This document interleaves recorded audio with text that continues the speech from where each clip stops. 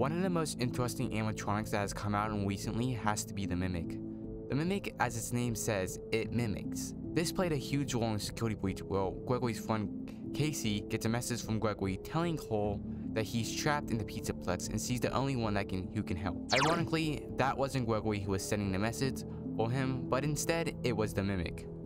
After the events of Security Breach, Gregory and Vanessa sealed the Mimic away, and to make sure they built or someone built the MXES to keep the Mimic from escaping. The thing is that Gregory is a kid and accidentally left his backpack and walkie-talkie down with the Mimic, allowing it to eventually break free from its prison because of Cat Casey because he didn't know. We don't know if the elevator ending is the true ending or if Casey's dead because of the elevator crash, but the Mimic is free yet again and it seems like it's the main antagonist in the series now. The Mimic's design is very basic, it's just like a normal exoskeleton we have seen in the game, but with some small differences. For one, it looks older compared to the exoskeletons we have seen in Security Breach and Ruin, with two legs that don't match and with fibers coming out of its left thigh on its right foot and left ankle on its left foot.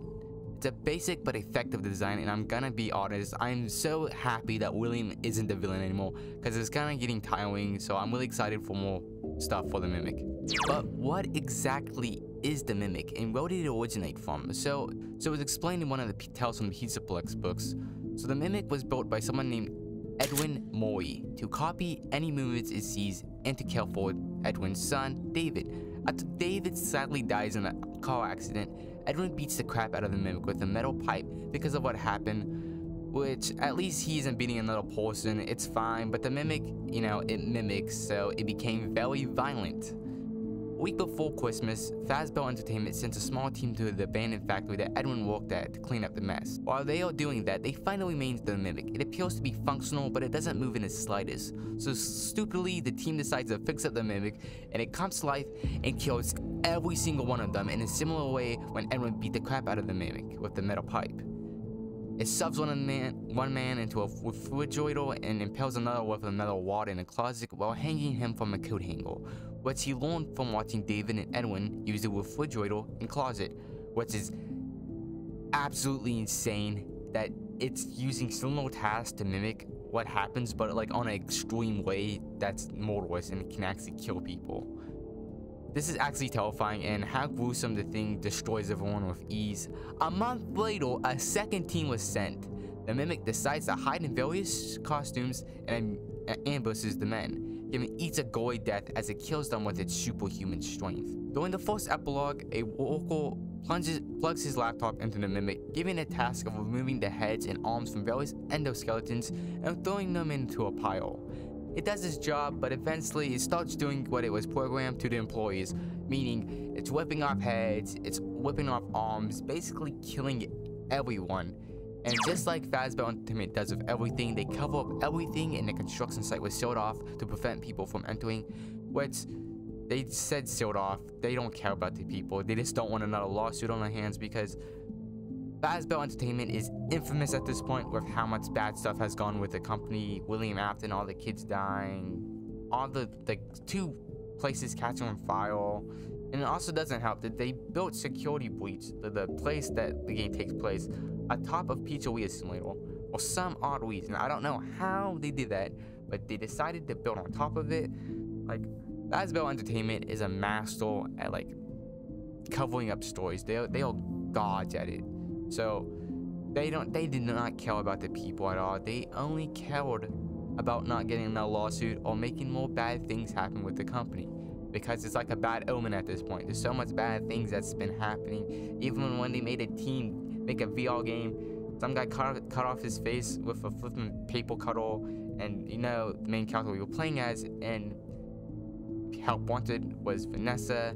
You know, Glitchtrap. You know what that happened. Very confusing, but Fazbear Entertainment, they'll, they'll destroy the people at this point.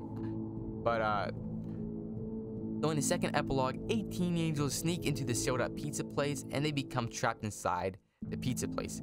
It's very similar like how a horror movie would start, you know.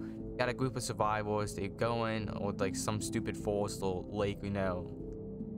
How that happens. They get trapped and guess who's there? It's the mimic. So the mimic hides inside the costumes like it did with the last employees and it kills the teenagers.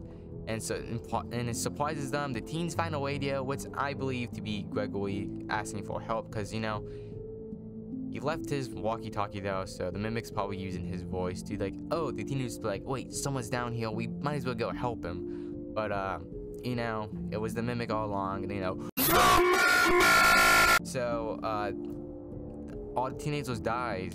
Uh, so very sad, but you shouldn't be sneaking to abandoned places. But the kids did not deserve a gruesome death like that.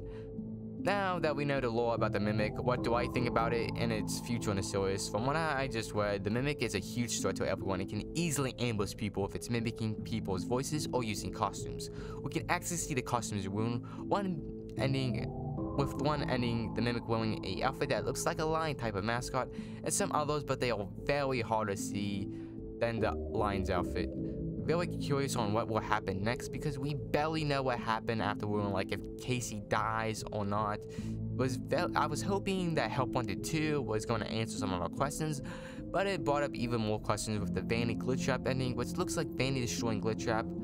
I am very excited for more news, but it looks like we're going to have to wait for a while because some news, because it is going to be the 10th anniversary and there's already a lot of stuff going on so i doubt we're going to get any information. We're already getting a book we're getting a new game and there's probably other secrets like that click team game that's going on or maybe that FNAF 4 2 game that with the new lore bit design. We honestly don't know but i hope during this year or at least next year we get some information more information about the mimic or what's next in the series of the games.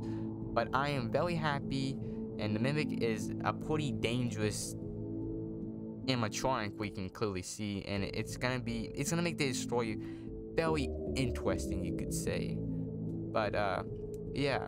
Also before I end this video one thing I want to talk about is the ending for uh I honestly don't believe Casey dies because at the end of the credits we can actually hear Roxy say Casey? Also sorry if I'm saying her name wrong. I haven't played Security Breach in a while but uh, yeah, I'm pretty sure she's still alive, so maybe the next game will pick off where the elevator ending happened. There's already a fan game that someone made, uh, Dawko and uh, FusionZGamer made a video off of it. I tried playing it, but it, it, you know. But what do you guys think about the Mimic? A daily new threat, or is all these somehow gonna bring back William Afton? So tell me in the comments below, like and subscribe, and I'll see you guys next time. Goodbye.